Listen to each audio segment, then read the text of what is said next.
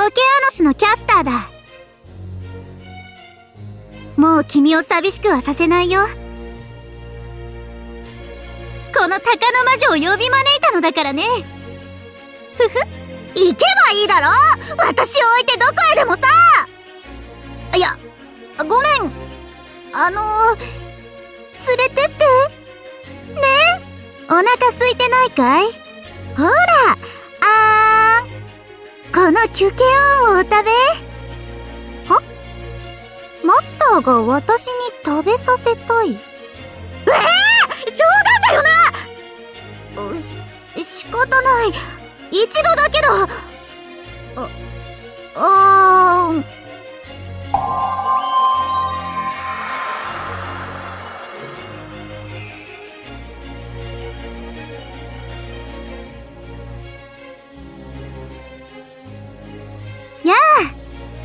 君を寂しくはさせない。この魔女キルケを呼び招いたのだからね。ふふ。ふふ。魔力アップだ。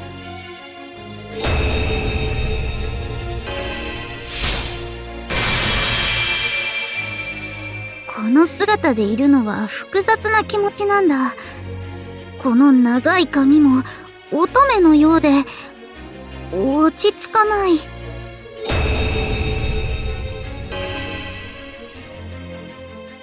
豚にしたいほど愛してるよ。マジで。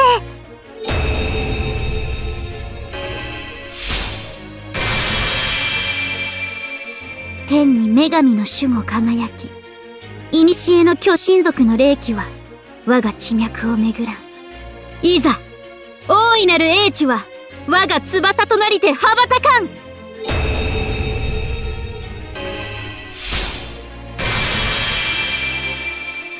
実はね私魔女なんだ。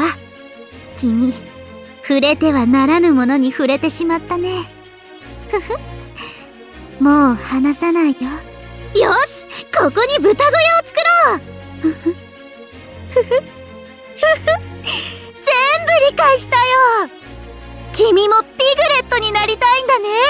豊満な方が好みだったか？テクニックには自信あるんだけど。うん。頑張るよ。何だってするし耐えられるんだ。一緒にいてくれさえするなら。だから行かないで。本当に連れ出してくれるとはね。あの島に囚われた私の魂を。うん。どこへでも行くよ一緒に旅をしよう。草原に寝転んで同じ夢を見よう。メディアは気の毒だった。あの子の愚かさは女神ヘカテの薬術をおろそかにしたことに尽きるよ。不憫な子だ。本当に羨ましい。メディアリリーか。あの子は正直やりづらいんだよ。苦手なんだ。ストレスで羽が抜けちゃうんだぞ。えー、っとアルゴノーツのアーチャー。そうそうアタランテ。彼女とは妙に気があってね。島にいる時はいい話し相手だった。お互いに悪趣味だなんだと罵り合ったりもしたっけ。うん。私の妹パシパエの子だろ。牛の角が生えている方の特に面識はないが。が誰なんだいらんこと吹き込んだのは。律儀におばさんと呼ぶのやめさせてくれ。船乗りは好きさ。黒ひげみたいな海賊だって全然ウェルカムだよ。ただちょっと私をロリババーダの合法ロリだのと想像しかったから豚に変えて厨房の氷室に吊るしといたけれどまずかったかい？うへあいつかイヤソン。いずれ召喚されると予期していたとはいえ。まあ気がかりだったあっちの若いメディアが歓迎してるならいっか。船乗りの英雄の本領が存分に発揮されると期待しよう。え？セイバーぐぐぐああ逃げも隠れもしないさ。私はもう、微笑んで彼と向き合える。だけどさ、私だって石とか聖堂でできてるわけじゃないんだぜ。ちょっと一人になりたい時だってあるよ。この麦がゆ、巨剣王はね、薬にもなるし、毒にもなる、神の食べ物なんだ。ふふ、オデュッセウス。さーて、知らないな。完全に記憶にないね。そんな愚かで、傲慢で、嘘つきで、つける薬もない男のことなんて、聖杯か。叶わぬ願いこそ、この魔女キルケイという存在を形作っている。と言ったら、君は笑うかな。外が騒がしいね。お祭りかなパーティーかな誕生日おめでとう、ピグレットして。え？その前に二人だけでささやかなお祝いを？まあ、たまにはそれもいいか。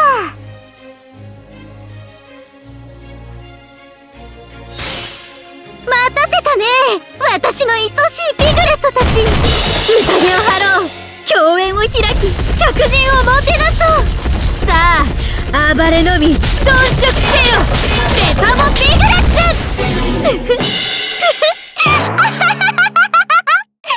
En la biografía de Circe podemos encontrar que Circe es la famosa bruja de la tentación y la decadencia de la mitología griega. Es una doncella eterna, por lo que es una dama que suele enamorarse muy fácilmente y los celos le vienen fácilmente. Cuando se enamora, ella no deja de mimar amorosamente a su objetivo, y su trato a sus seres queridos es como la miel prohibida más dulce. Solo ten cuidado con cómo la llamas, asumiendo que desea seguir siendo humano. Las alas de halcón que lleva son una prenda de vestir, pero también son una parte de su cuerpo, conectadas a sus circuitos mágicos. Circe fue una bruja famosa que vivía en la isla mitológica de Ea, aparece en la épica de Homero, la Odisea. Como descendiente de Hécate, es una semidiosa de la luna y el amor. Siendo una aficionada a la ciencia, está bien versada en la mezcla de elixires mágicos que pueden causar diversos efectos y transformaciones. Circe tiene una inclinación por dar una cálida bienvenida a los hombres humanos que visitaban su isla y entretenerlos con festines, pero luego los transformaba en leones, lobos, cerdos y otros animales tan pronto como se cansaba de ellos. Su hermano mayor es Eetes, el padre de Medea, el rey de Colchis y su hermana menor es Pasífae, madre de Asterios, esposa del rey Minos de Creta. Su noble fantasma invoca una esfera de realidad donde desata a sus queridos cerditos para pisotear a los hombres groseros que invitó a su lujoso banquete. Es un banquete mágico aterrador, placentero, bullicioso y bastante desternillante. Aquellos que prueban su dulce éxtasis estarían encantados de convertirse en sus cerditos mascotas. A Circe le gustan los hombres humanos defectuosos que dependen de ella y que pueda servirle su kikion, una bebida de cebada. A Circe no le gusta cuando los hombres se cansan de ella, ni ser protegida por otros. Después de que le rompieron el corazón, se cortó el hermoso cabello que incluso Homero alabó por su belleza. Circe fue abordada por el dios del mar Glauco en busca de consejo romántico, pero se enamoró de él. Después de que él la rechazara, Circe transformó a su amada, Escila, en un monstruo en un ataque de celos. Escila luego se comió a seis miembros de la tripulación de Odiseo. El héroe Odiseo se detuvo en la isla de Ea en su camino a casa y se le ofreció una bebida de cebada envenenada, pero logró liberarse de su magia con la protección divina de Hermes. Esto impresionó a Circe, y cuando llegó el momento de que Odiseo abandonara la isla, ella le dio consejos útiles para evitar problemas en su viaje. Su verdadero deseo para el Santo Grial es pedir que el héroe regrese y visite Ea una vez más. En última instancia, quiere decirle las palabras que no pudo decirle en persona. Eso es todo.